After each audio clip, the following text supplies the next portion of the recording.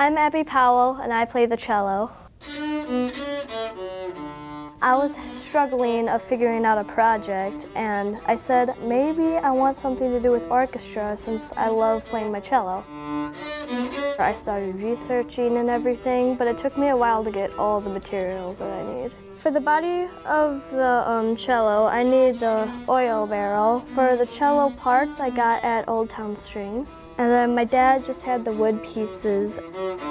I never knew about the landfill harmonic before, and I thought it was really inspirational of reusing and turning it into music. I feel tingly inside when I play my instruments. It's just a cool feeling to make music.